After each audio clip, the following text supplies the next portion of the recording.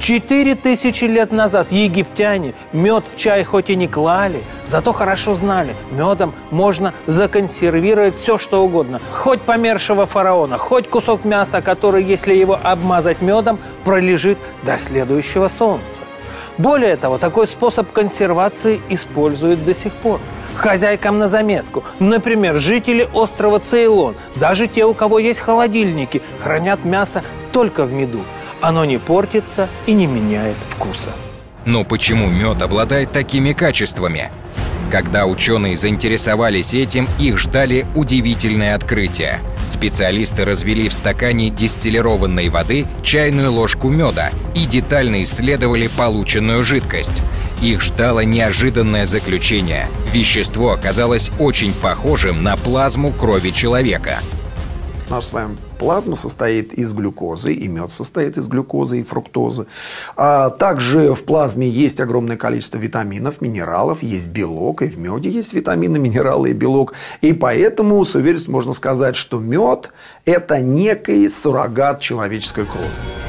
Но как получилось, что мелкие кусачие насекомые научились делать сложнейший продукт, который похож на нашу плазму, сохраняет еду свежей и при этом полностью усваивается организмом человека? Кто такие пчелы? Откуда взялись? И как готовят свой нектар? Подойти к разгадке феномена меда ученые смогли только сейчас. Это продукт, который может храниться тысячи лет. Аналогов такому нет вообще, в принципе, на планете Земля. Мед, который найден был в гробнице Тутанхамона, до сих пор можно употреблять в пищу. В нем не развивается болезнетворная микрофлора, в нем не развиваются споры плесени. Именно за счет этого он имеет бактерицидные консер... свойства и свойства консерванта натурального. Современная наука находит все новые и новые полезные свойства и качества меда – в апреле этого года индийские ученые провели исследование, и оказалось, что мед прекрасно справляется с муказитом. Эта болезнь слизистой рта и желудочно-кишечного тракта появляется у онкобольных после химиотерапии. Если больной употребляет мед, его ткани восстанавливаются значительно быстрее.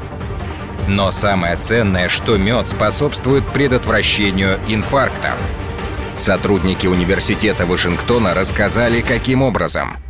Все дело в особом сахаре. Медовый сахар под названием триголоза очищает артерии от бляшек.